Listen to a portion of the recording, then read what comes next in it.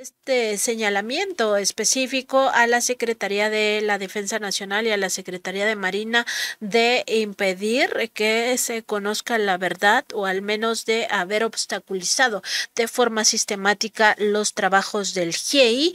Eh, además de estos señalamientos, el día de ayer este experto Carlos Beristain pues eh, señaló que eh, se debe de tener más información para eh, ya finalmente revisar cuál sería el paradero de los estudiantes y sobre todo ha eh, solicitado eh, este grupo interdisciplinario de expertos independientes han solicitado que Osorio Shong declare ante la Fiscalía General de la República sobre todo por lo que debe de conocer este personaje encargado de la política interna en los cinco años del gobierno de Enrique Peña los cinco primeros años de este sexenio peñanietista y también porque bajo su mando operaba el Centro de Investigación y Seguridad Nacional. No solo es que Gobernación maneje la política interna, sino que incluso tenía agentes del CISEN infiltrados en la propia Escuela Normal Rural Raúl Isidro Burgos. Vamos a ver una primera declaración de Carlos Beristain y regresamos. Si creemos que hay información que tiene que ver con el paradero, pensamos que sí, hemos encontrado los documentos que les hemos presentado. Por ejemplo, ese documento que antes hemos presentado ahí, que Ángela estaba explicando, es un documento de análisis. Sedena dice que ellos no hicieron análisis sobre transcripciones, dice que no hicieron interceptaciones, aunque tenemos las transcripciones, y que no hicieron análisis. Ahí está el análisis, una parte del análisis. Y ese análisis muestra que había otra información, que no sabemos dónde está.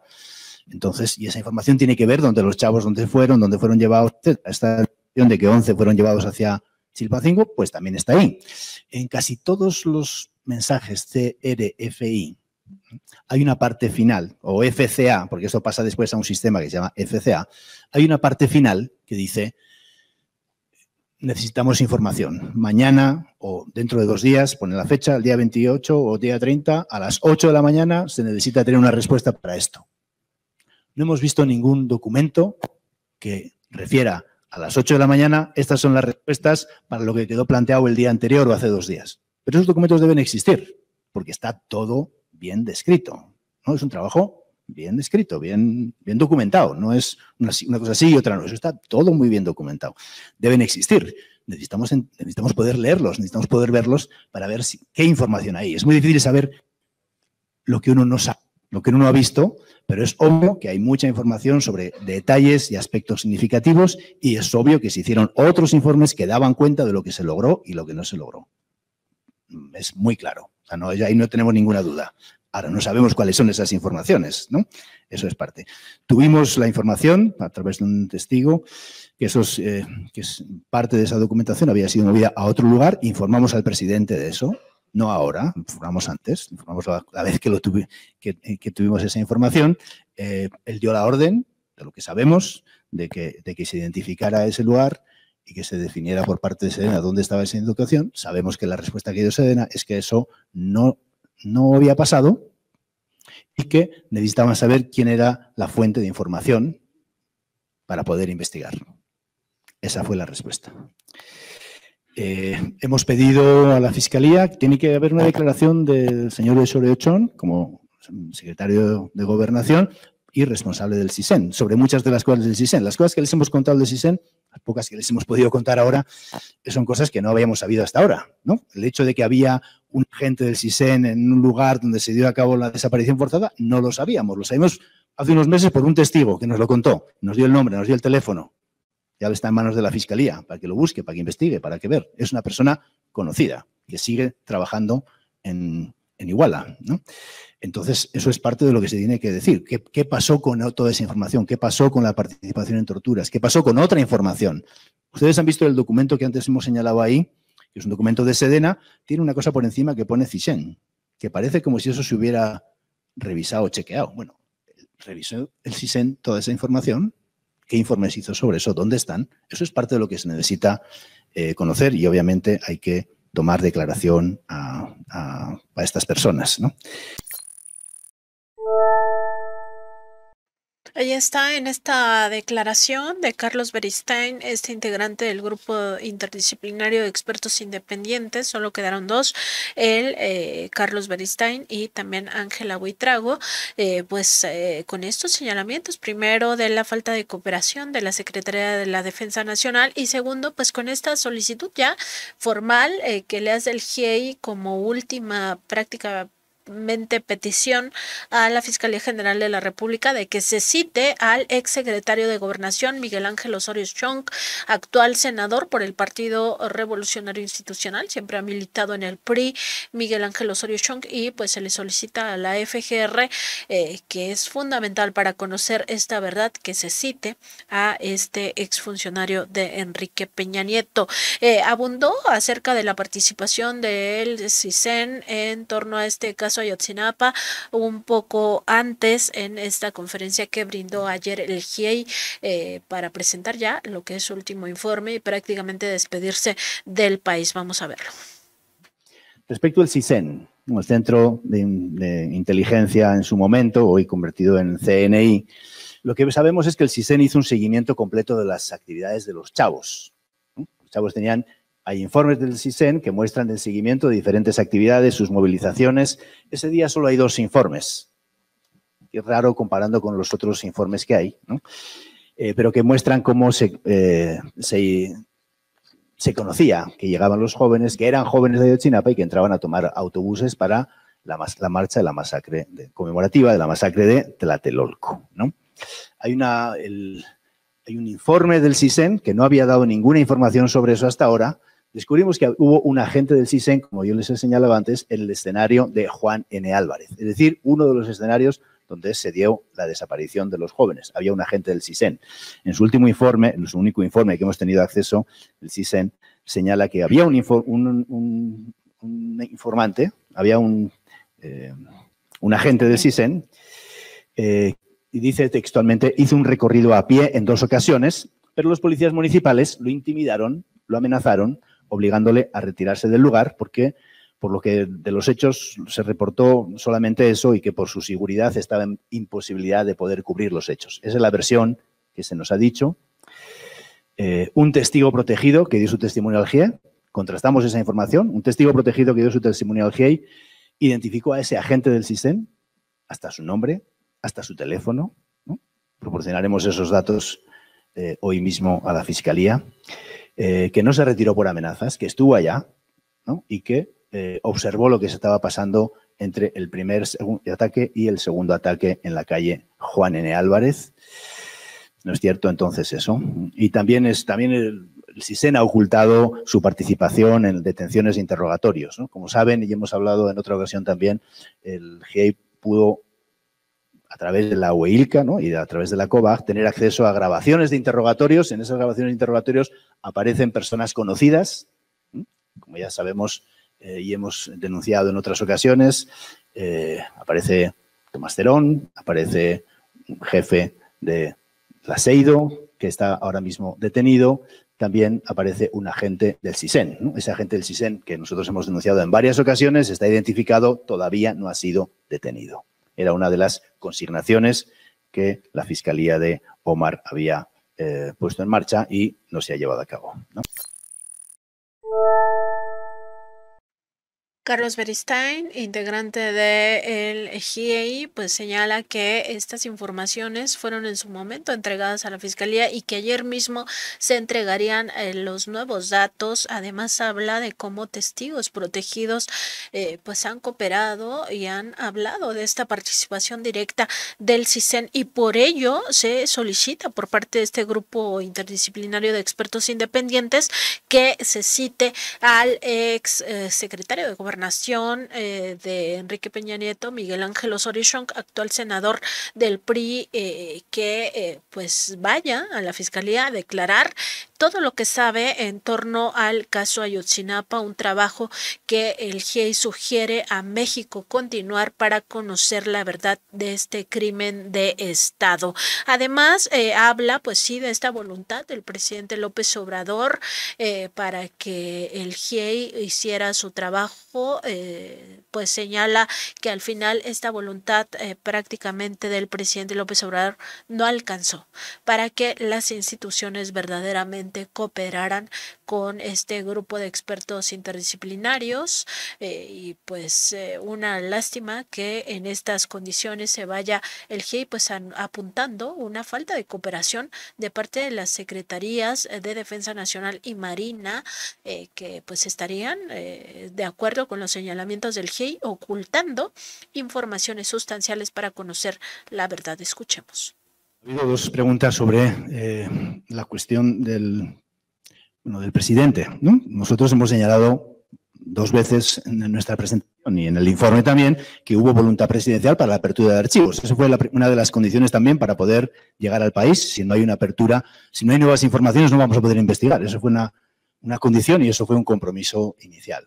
Logramos con también facilidades y dificultades que no les vamos a contar aquí, ¿no? El acceso a mucha de esa información. Durante muchos meses en condiciones a veces muy difíciles, encontramos esa información, todo lo que hemos puesto no es que estaba así organizadito y estaba en la mano para ir a recogerlo, no, ha habido que escudriñar muchas cosas para poder tener esas informaciones, Algunas de esas informaciones estaban para tirar a la basura, estaban en un lugar que iban a ser votadas, ¿no? Nosotros hemos dicho, no se puede tirar información sobre el caso Ayotzinapa ni sobre otros casos de desaparición y delitos graves como estos. ¿no? Pero eso muestra una voluntad. Sí, logramos eso, sí.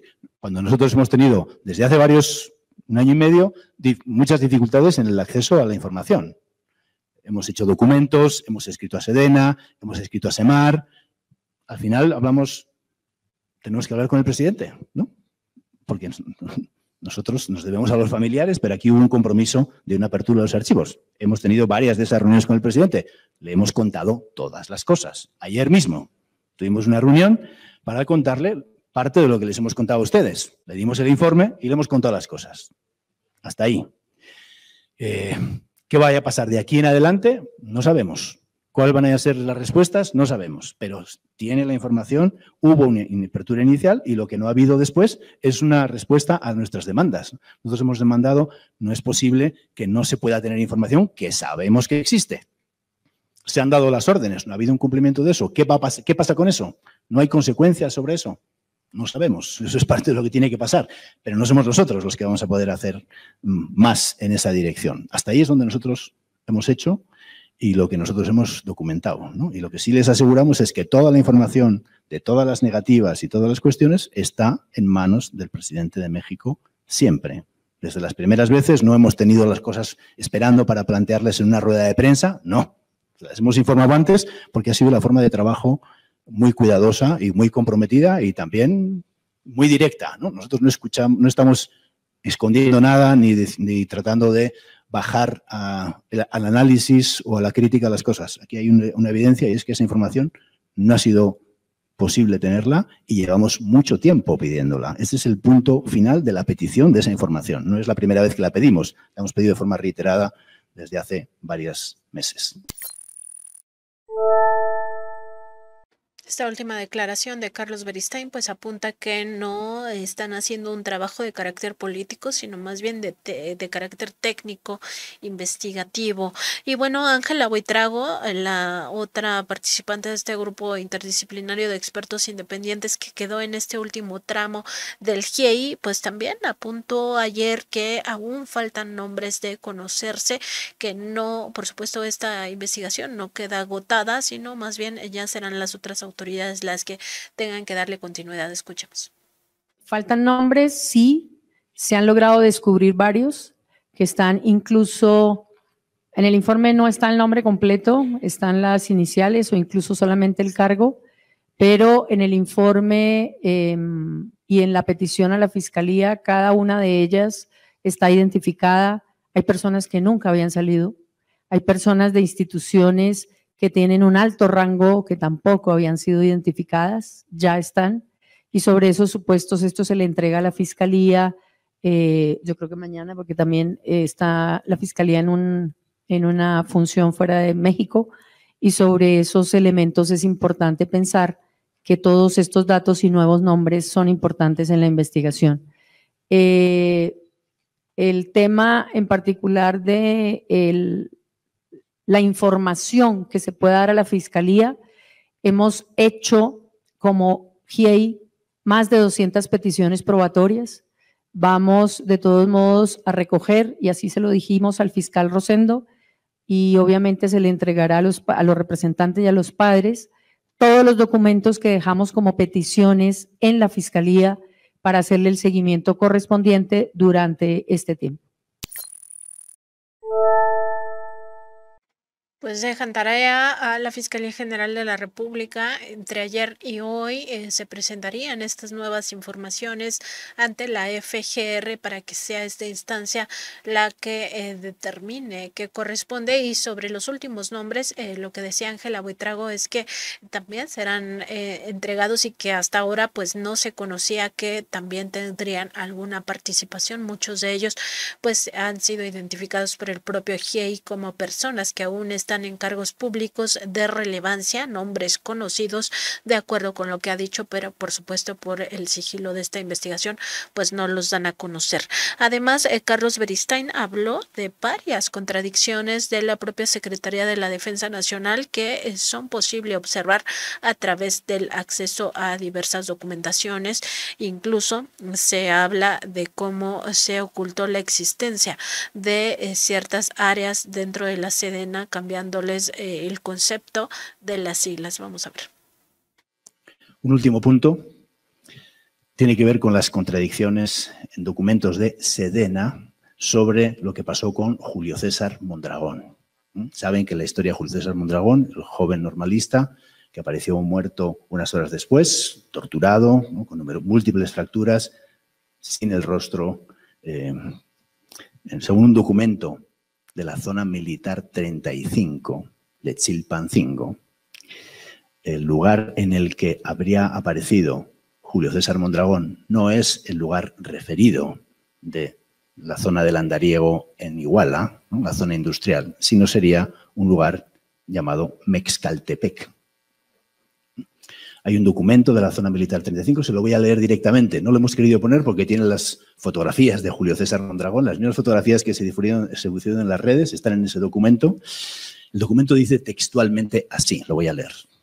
Dice, aparecen dos fotografías, dice, zona militar 35, Estado Mayor, GAOI, que es una terminología de un tipo de documentos, GAOI, 27 de septiembre de 2014 aspecto general del cuerpo sin vida del sexo masculino localizado en las inmediaciones del poblado de Mexcaltepec, municipio de Tasco de Alarcón. Eso contradice la versión dada hasta ahora sobre la aparición del cuerpo tiempo después. Hay otras dos contradicciones, y con esto termino, sobre los hechos que están desarrollados ampliamente, obviamente, en el informe. Una que tiene que ver que hay un informe del 41 batallón que dice que fueron ellos los que llegaron temprano en la mañana, a las ocho y media de la mañana, llegaron a la zona del Andariego, no dice a esta zona de Mezcaltepec, dice a la zona del Andariego, a, y encontraron el cuerpo de Julio César Mondragón, y relata cómo se hicieron los hechos, qué, qué tipo de policía llegó para hacer la investigación, etc. Y hay otro documento del 27 Batallón, no del 41 Batallón, sino del 27 Batallón, que es el que ha sido parte de la versión oficial hasta ahora, que dice que eh, Sedena llegó a las diez y media de la mañana, o sea, dos horas después, y que fue el 27 Batallón y relata otras personas que hicieron el levantamiento del cuerpo. ¿Mm? Hay una evidente contradicción en estas dos cuestiones. ¿Quién fue? ¿41 o el 35 o el 27? Y hay un documento de la zona militar 35 que ese cuerpo dice no se encontró. Las fotografías corresponden a Julio César, obviamente, al cuerpo de Julio César, no se había encontrado en esa zona del andariego en Iguala, sino en, lo que les he contado, en las inmediaciones de Mezcaltepec. Además de estas contradicciones que narra Carlos Beristain, también Ángela Buitrago se refiere pues a este eh, pues cambio de eh, adscripción o incluso de eh, modificar el significado de las siglas y se refiere también a toda la investigación que tuvieron que hacer en torno al CRFI. Escuchemos. En este caso en particular, Sedena, y por eso hemos insistido tanto en el tema de la negativa con la información de los CRFI, los famosos documentos del Centro Regional de Fusión de Inteligencia, que nos pusimos a la tarea de verificar desde cuándo existe el Centro de Fusión de Inteligencia, porque nos han negado la existencia de este centro y nos han dicho que solo empezó a partir del 2015. Pues en sus propios documentos, este centro funciona en el 27 Batallón desde marzo con plena actividad del 2014, dirigido por Sedena y desde este punto de vista no solamente han negado insistentemente esto hecho, sino que bajo el análisis de sus propios documentos están demostrando las mentiras que están plasmando en estos informes que nos están entregando. Ellos negaban la realización de estos monitoreos, pues hemos encontrado por lo menos 16 documentos que hacen la relación de estas comunicaciones. Tenemos una persona que nos afirma haber estado siguiendo a muchas de estas personas y que sobre estos supuestos los informes y los reportes existen. Se nos respondió que no hay más información y que no se encontró nada más en los archivos. Tenemos información de que esos archivos existen y fueron movidos en agosto del 2022 a otro lugar. Una cuarta cuestión en el tema de Sedena es que a raíz de que cada documento tiene identificaciones plenas de lugar de origen, lugar de destino, pero también de autores, hemos pedido que nos identifiquen quienes realizaron esas, esos monitoreos técnicos y Sedena nos ha contestado que es imposible identificar a los miembros que reposan dentro de los mismos documentos de ellos. El otro punto que tendremos que resaltar es que habiendo obtenido documentos por parte de las revisiones que hicimos durante muchos días y durante muchos meses en los diferentes archivos de Sedena, encontramos documentos que pasamos directamente con la COVAC y el GIEI a la UEILCA, o sea, la unidad de la Fiscalía. La OEILCA pedía que se certificara ese documento y se enviara nuevamente por Sedena y la respuesta de Sedena es que ese documento no existe habiendo sido entregado a la COVAC y a el GIEI. El último punto para resaltar en este tema es que efectivamente han negado incluso la existencia de dependencias a unidades militares que son relacionadas con inteligencia y que han tratado de cambiar las definiciones de sus siglas. En uno de los documentos aparece en un margen izquierdo CMI, que significa Centro Militar de Inteligencia, y nos han contestado bajo rúbrica pública que CMI significa es contenido mediático de información.